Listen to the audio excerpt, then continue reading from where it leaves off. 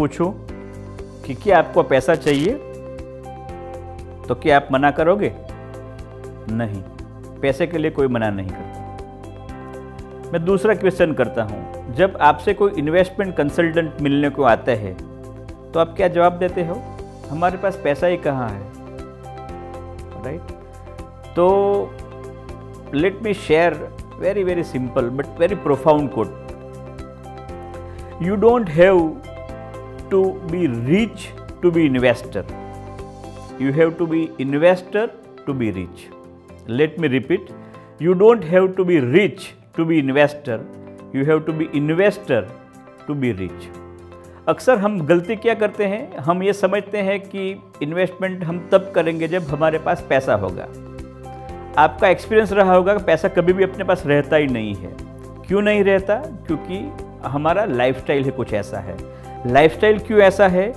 क्योंकि हम साल, सदियों से यही पैटर्न को फॉलो करते आते हैं। मैं आपको एक फार्मूला देना चाहता हूँ।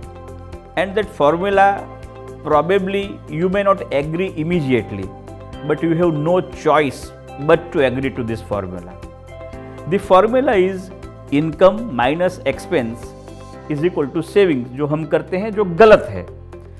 Income minus savings is equal to expense अगर ये करना शुरू कर दिया तो no one can stop you being rich ऐसा क्यों होता है कि रिच रिच बनता जाता है और मिडिल क्लास मिडिल क्लास ही रहता है?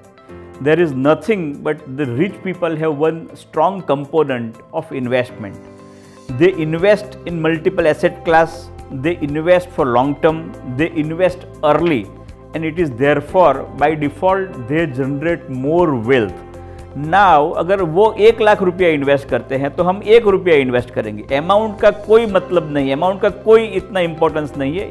आप कितना जल्दी, कितना पैसा, कितने लंबे टाइम के लिए इन्वेस्ट करते हैं वही इंपॉर्टेंट है।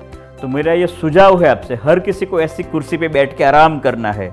लेकिन वो तभी पॉसिबल है जब आपने इन्वेस्टमेंट जल्दी शुरू किया। And remember the final quote small is beautiful जल्दी शुरू कीजिए छोटा शुरू कीजिए, आपकी एक बड़ी वेल्थ आपकी रिटायरमेंट के लिए क्रिएट हो जाएगी। My best wishes to you all thank you very much